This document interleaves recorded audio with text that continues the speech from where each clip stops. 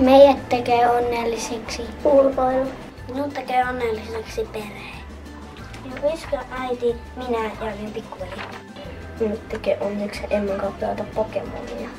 Minut tekee onnelliseksi linnut. Minut, minut tekee onnelliseksi uiminen ja temppuilu. Kiva hiihtää. Minut tekee onnelliseksi jalkapallon pelaaminen. Mennä huvipuistoon. Mm, käydä rannalla. Rannalla? Että susi syömi. Mm. Perhe. Pokemon Go ja jalkapallo. Pokemon Go-pelaaminen, ö, ulkoilu ja perhe.